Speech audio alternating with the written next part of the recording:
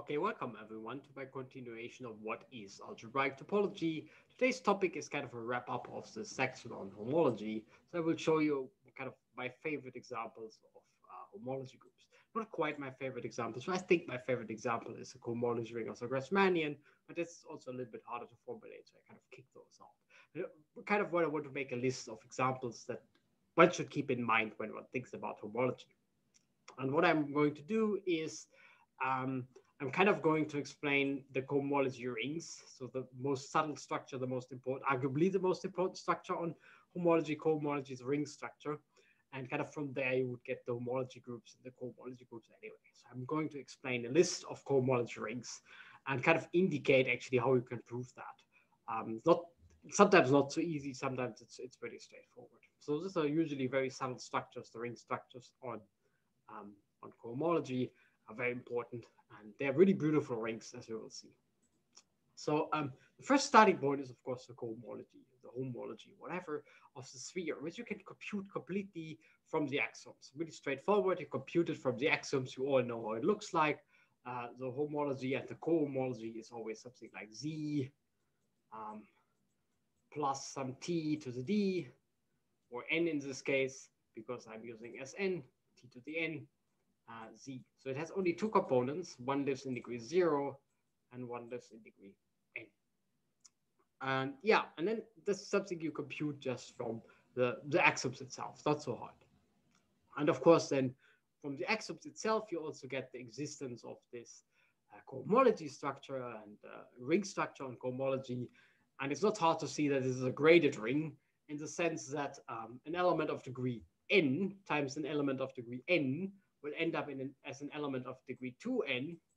But in this case, you, you don't have anything of degree 2n, so this just dies. So in other words, the cohomology ring can only have one uh, appearance, one formulation. It's the best or the easiest or the nicest or the most important quotient of the polynomial ring in one variable, namely just zx mod x squared. Slight uh, catch here, um, or catch whatever. So this is a graded ring. So uh, the degree of this ring, the degree of this element actually depends on the sphere.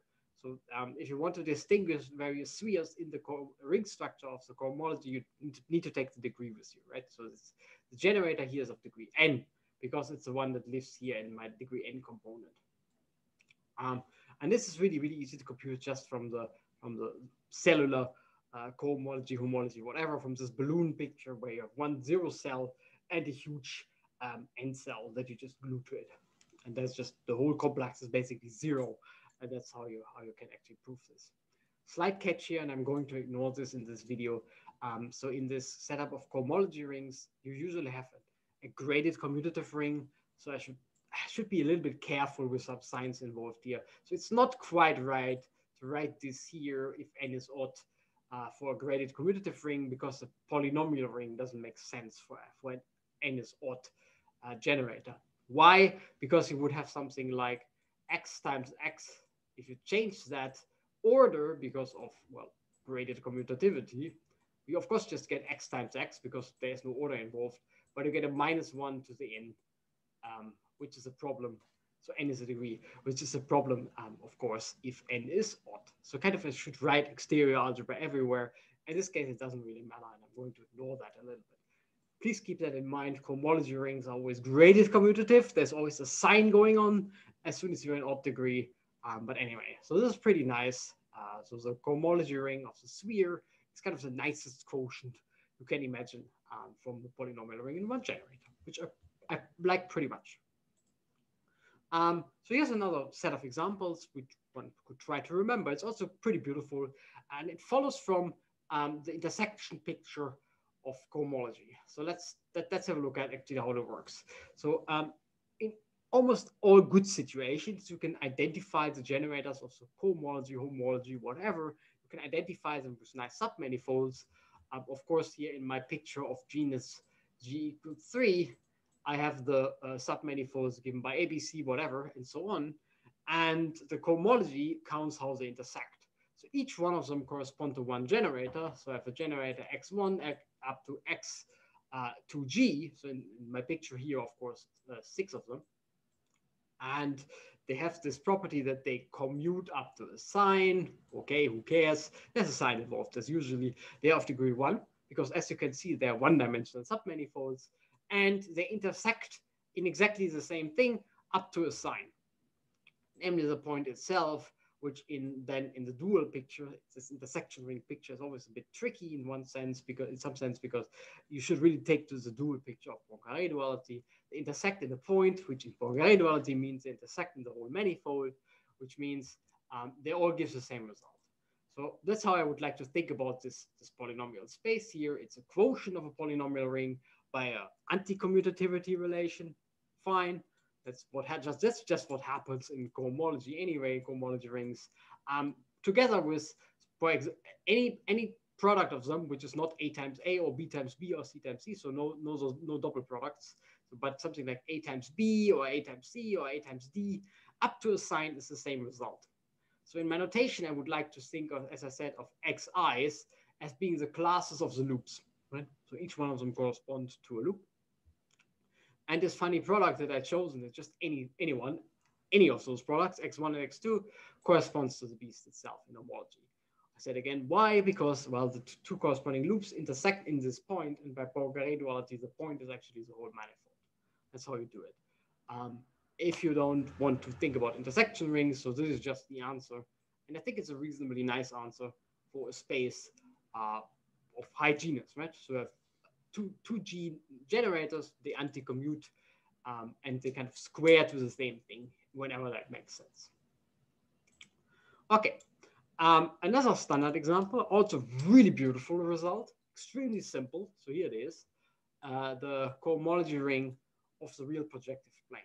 Because of some sign issues involved, and this is non-orientable sometimes, sometimes it is, it's kind of better to work uh, not integrally here, but with the mod 2 coefficients, uh, the integral solution is linked in the description. So the integral answer is linked in the description. And the answer is pretty simple. And it's, it, it can be uh, proven in the same way. Just think of the submanifolds of an RPN as being several RPNs again. So for, for RP5, you have submanifolds from RP1, the non-trivial ones, from RP1, RP2, RP3, RP4, and they intersect in a nice way in such a way that you can identify those, um, those classes with the generator X here, which is, of course, this one is of a degree one. As you can see, it's a one-dimensional submanifold. And in such a way that you kind of square yourself until, uh, so you take a square, you take the third power, the fourth power, until you, you get too big, because at one point you hit the whole manifold. And in this case, for n equals five, you hit the whole manifold. And the next power should be zero because the homology is, is zero anyway. And that's exactly what happens. It's pretty simple to prove, actually, if you know this intersection picture of um, uh, the real projective space, or in general, this, this intersection picture. And the result is extremely nice. It's a polynomial ring. It's again our good old quotient, polynomial ring modulo a power of x. Slightly different than from for the sphere. It's polynomial ring modulo a power of x, um, where n, the power of x, depends on, on the uh, space. And this is kind of the same for all of these uh, projective spaces. For the complex projective spaces, it's even nicer because you don't worry about any signs anymore and just you can work it integrally. Slight catch, you, because it's complex, right? You double everything. You start in dimension two, so the generator is actually of degree two, if you want to call that a catch. Anyway, so the point is here, uh, cohomology rings of projective spaces are ridiculously nice. They have the, the nicest polynomial quotients can imagine um, any, anywhere. And so here's now my list. We'll stay on the slide for a while and the slides are any, uploaded anyway. So in case you want to have a look, a link in the description. So um, this is kind of the list I would like to keep in mind when I, when I first work on cohomology or whatever. Kind of the list I would like to know. The cohomology of spheres, we discussed this, there's nice quotients. Uh, note here again that the degree of the element depends on the, the dimension of the, of the sphere the torus, beautiful. The torus, beautiful. It's just exterior algebra and two generators. And yes, the two generators of the torus are the two fundamental classes uh, going around in one direction, going around in the other direction along the torus. It's exterior algebra. I showed you RP2 in the disguise uh, of an RPN. So RP2 is just x mod x cubed, also pretty cute results. So it's not a sphere, as you can see. The sphere would be x mod x squared. X mod x cubed. Again, some z mod 2 coefficients are a little bit better here. But anyway, you could prove that in a very similar way, as I said. Uh, similar for the Klein bottle, you can think of the fundamental generators of the Klein bottle if you want. Again, there's a z mod 2 action, uh, a z mod sign thing going on. And well, the result is reasonably nice anyway. It's a, it's a Klein bottle. So I wouldn't expect too much. It's not so, so bad. Um, the picture for the orientable surfaces is pretty nice. As I said, it's really just this intersection picture of the corresponding fundamental generators. And what you get is a, kind of a nice quotient of a polynomial ring up to some sign issues of sign issues as usual. It's cohomology, there will be some sign issues. Real and projective spaces, beautiful polynomial rings, uh, modulo the obvious one, uh, so the obvious quotients of polynomial rings. Slight catch is that the degree varies a little bit here. Um, so all of these are reasonably easy to prove. And also for the various topological groups that you can come up with, the unitary groups, the special unitary groups, this uh, symplectic group, they are not, the, the, cohomology rings are pretty nice and not so hard to prove uh, what they are. So they're exterior algebras, as you can read here uh, in, in, certain types of generators. Uh, so the degree, so the uh, subscript here indicates the degree of those generators. That's really not so hard to prove. Turns out that there's one example which is not so easy to prove, which I will briefly discuss on the next slide. So the only one that doesn't quite really fit into the sequence of, oh, we have a nice exterior algebra here for those topological groups, unitary group, special unitary, symplectic, whatever, is the special orthogonal group. That's, that's a little bit more complicated. And actually to prove it is also not trivial. Uh, link in the description. So the special orthogonal group, the, the group of um, rotations of um, n space. Um, so kind of, it, depends a little bit whether you work over R or, or over C. Let me be a little bit hand wavy here and let, let me do the one here over. This is a picture over R, so the group of rotations over R. Um, you know some examples of this, so we'll discuss this in a second. Here, n equals 2, n equals 3. Um, and it turns out that this is not so bad. It's just a little bit hard to compute. So it's a tensor product, uh, graded tensor product in this in this usual sense of that you have sign here, so z mod 2 to get rid of the sign if you want, of um, the usual quotients. So it's the usual quotient by something like an x to the k, um, but the k kind of depends on uh, the generator, whatever that means anyway, and it's actually not so hard to prove. It, it's, it's okay if you know the cell structure of SO. Um, in Hatcher, there's a whole chapter about this, so it's, it's also not so trivial to prove, but anyway. And basically, it comes from that SO is kind of the same as RPN in some sense, um, because, well, uh, a rotation, that's what, what SO is talking about, is kind of determined by a rotation axis up to a sign, because the axis doesn't really know the sign doesn't know the, the direction. So the rotation doesn't know the direction of the axis. And this is kind of saying that SO, the special orthogonal groups are not very far away from um, being real projective sp spaces.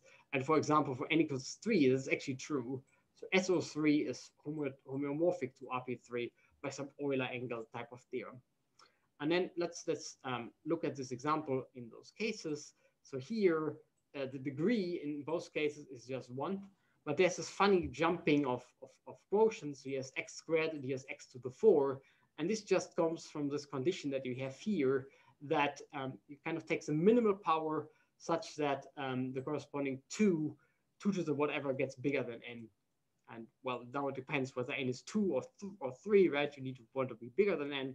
So the power is either a 2 or 4. This gives you a good flavor of how those things work. You get more generators like this, but basically it's always x to the 2, x to the 4, x to the 8, something like that, and you mod out. Um, okay, so we have seen a lot of cohomology rings. Uh, most of them are nice quotients of polynomial rings, like spheres, tori, like, or exterior algebras like tori, um, orientable surfaces, even more sophisticated groups like SON, basically are just zx mod some power of x. It's pretty nice. So cohomology rings, and there's some subtle differences in those cohomology rings, which then help you distinguish those spaces like the degree of the generator or what precise power you take. Uh, really beautiful.